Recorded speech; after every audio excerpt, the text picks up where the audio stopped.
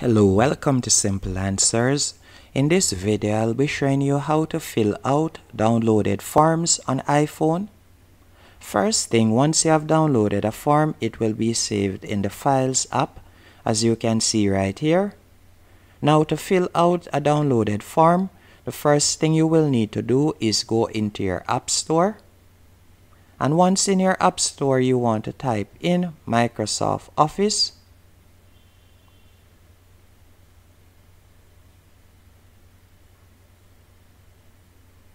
and once you have typed in Microsoft Office you'll simply download the app. As you can see right here I'm currently searching for it. You can see it right here. After downloading the app by the way it's a completely free app. You don't have to pay or you don't have to sign up to any trial period or anything like that unless you want to. You are going to open the app. Then after opening the app you'll be led to this page and you're going to tap on the file icon in the top right hand corner. Then you're going to select files app. And it will lead you to the files app that I had shown you earlier.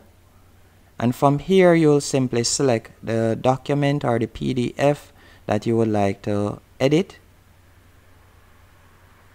And once it opens up you're going to tap on edit in the bottom left hand corner then you're going to tap on the T if you want to add in text or if you'd like to fill out a box or anything like that. And from this section, as you can see right there, you can tick and untick boxes. And you can also tap in any section that you would like to edit. And you can type in whatever you would like. Or you can remove certain things. Then you'll tap on the sticky in the top left hand corner to save it. And that's it. Hope you found this video helpful and informative.